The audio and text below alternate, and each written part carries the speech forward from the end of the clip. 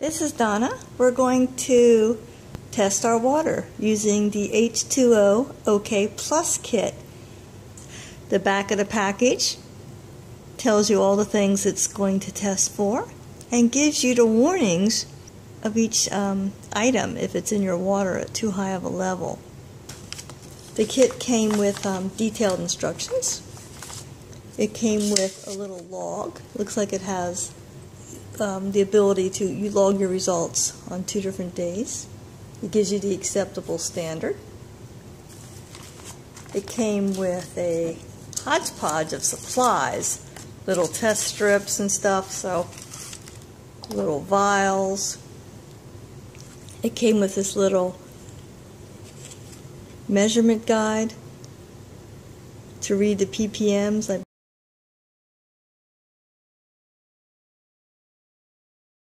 Our first test tests for hardness, chlorine, alkalinity, pH, nitrite, and nitrate. So I'm going to open this test strip, the one in the silver package called 6 Test. And how you open it is sort of like a band-aid. You peel the pieces apart, expose it. Okay, now here's our measurement guide. I folded it, so these are the six we're going to test for. And note the default, the, the initial pad color matches the lowest. So hardness is the light blue, chlorine is the yellow, alkalinity is sort of a mustardy color, pH is sort of a, sort of rusty, nitrite and nitrate are sort of white by default. So instructions tell us to fill our vial up to the top etched line. You can't see it on video, but there's a little scratched line at the top. So we're going to dip our strip for two seconds, remove with the pads face up, shake off excess once, and immediately take readings for the, four, the first four tests, hardness, chlorine, alkalinity, and pH. Then we wait 30 seconds and read for nitrate, nitrite and nitrate. Okay, so we're going to dip for two, remove with pads face up, shake off once, and immediately read. So dip for two, 1001, 1002. Remove with pads face up, shake off once to shake off excess water, and immediately read. Wow. So, um, hmm, you try to match the colors. So I'm going to say my hardness is a 250. My chlorine is a 3.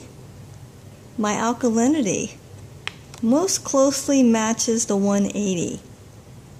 My pH most closely matches, hmm, it's in between an 8 and a 9, so I'm going to say an 8. My nitrite Oh, it's pretty much a zero. Oh, wait a minute. It's supposed to wait um, 30 seconds. It's been about 30 seconds. We'll give it a few more seconds. But it looks like my, my, my nitrite and my nitrate numbers aren't even really reading. They're in between 0 and the 0.5, and then nitrate is in between 0 and 5. So, wow. Um,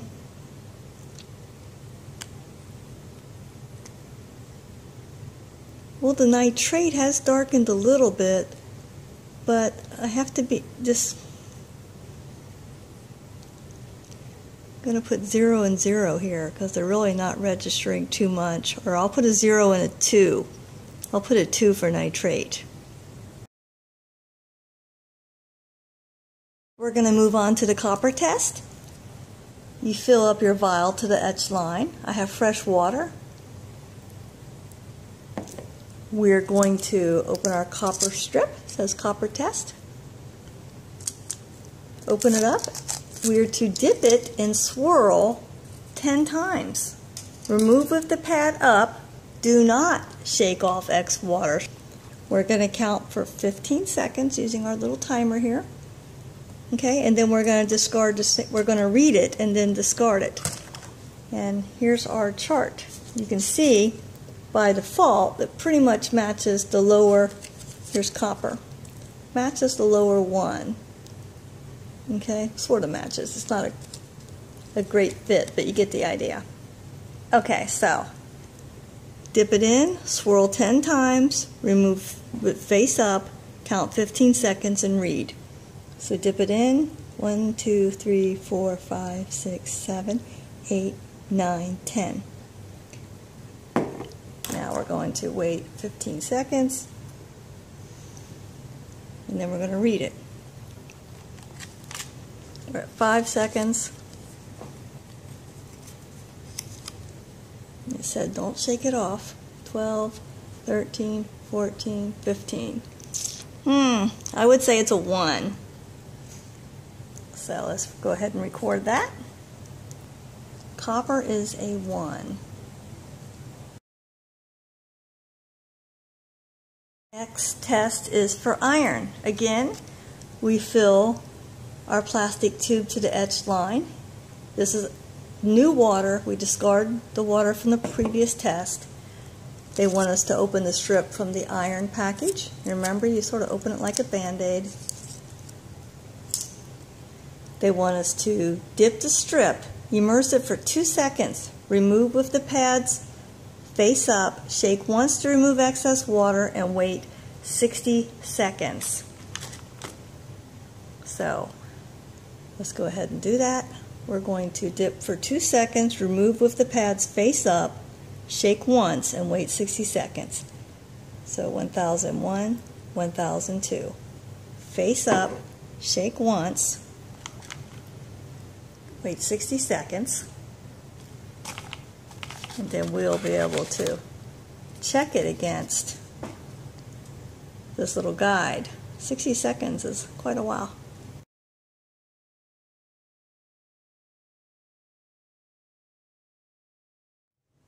Sixty seconds. Hmm, yeah, maybe a point one. See, it doesn't even, it's not even dark. I really don't even think it registered. I'm just going to go ahead and leave it at zero. So I'm going to mark our iron at zero. The acceptable range is 0.3, so we're fine with the iron. Next test is for pesticides and lead. I've opened the package.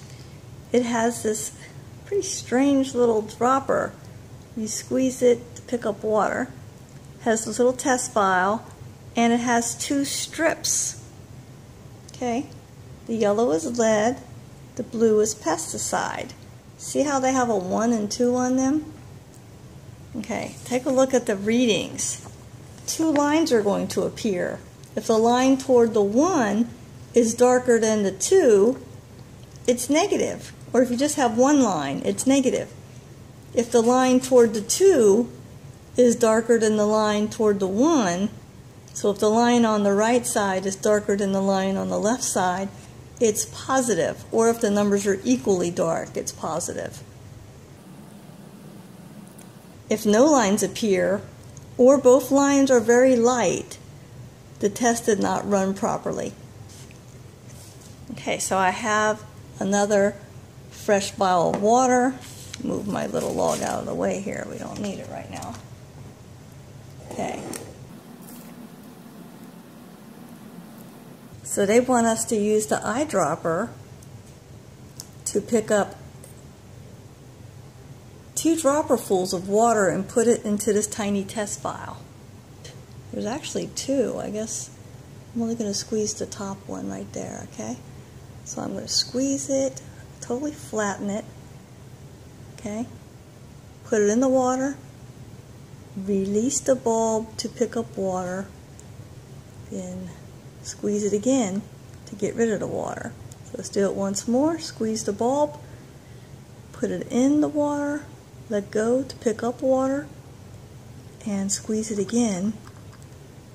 Okay, and we're done with the eyedropper. It says swirl vial gently for several seconds. Okay, several seconds. And then place on a flat surface. Okay, there we go. Place both the test strips in the vial with the arrows pointing down. See the little arrows at the end? They're pointing down. So we're going to put them both in here, pointing down. All right? Wait 10 minutes. Do not disturb during this time. Blue lines will appear. So we're going to reset, start. So in 10 minutes, we'll return and take a look at our lines.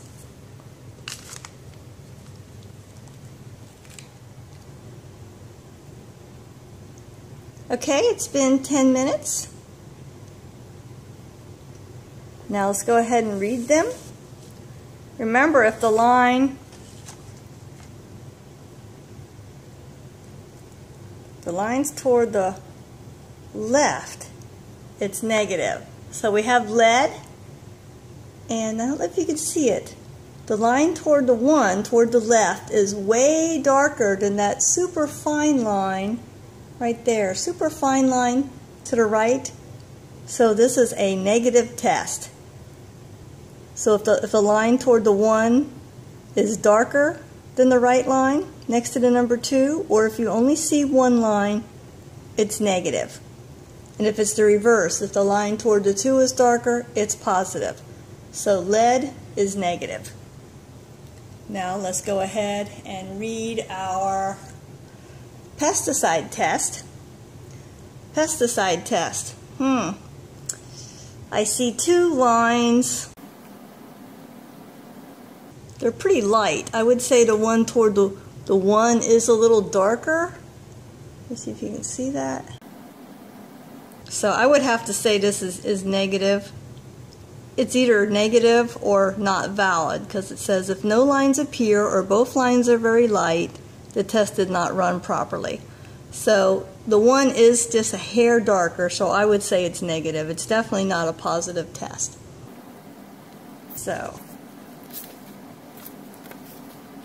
I'm going to record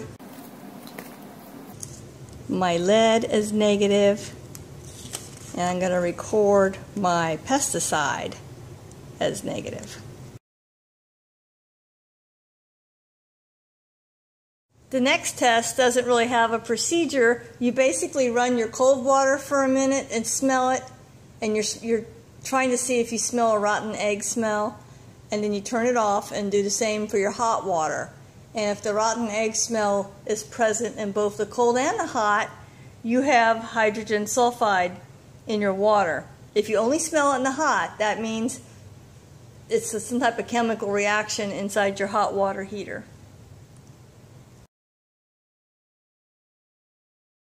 This next procedure is going to test coliform bacteria. There's two steps. First step is we're going to dechlorinate our water and then we're going to run the procedure. And the procedure actually takes 48 hours, but we'll set it up. So you take the Whirl-Pak, that's just what it's called. It's scored at the top, so you want to rip off the scoring. Very good. Now, see how there's two tabs on each side? You want to use them to open it up. Now, we're going to take our tap water, and I've filled this clean little pitcher up with tap water. We're going to fill it to the 100 millimeter line.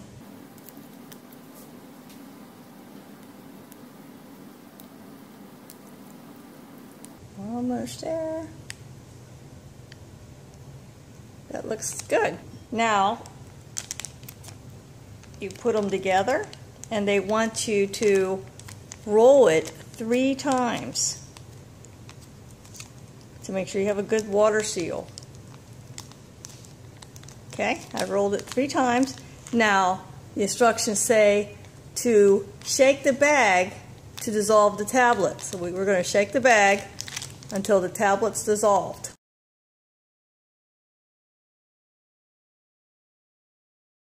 Okay, I cannot visibly see it anymore. Now, they say unroll it. Now we're going to use our tabs on the side again to reopen the bag. And we're going to fold, I don't want to put my fingers in there, so I'm going to fold this piece over and it makes like a little, yeah, makes like a little pour spout. Now, you take your, your glass, this is glass, a little cylinder with a lid, and see how it has a tablet? We're going to fill this little cylinder to the 10 millimeter line. We're just going to stand it upright make sure the tablet's flat while it's standing. And we're going to incubate the tube and make sure it stays upright at room temperature for 48 hours. And then we're going to compare. If it's yellow, it's positive. If it's negative, it's going to be sort of pinkish. Okay? So let me get this off of here.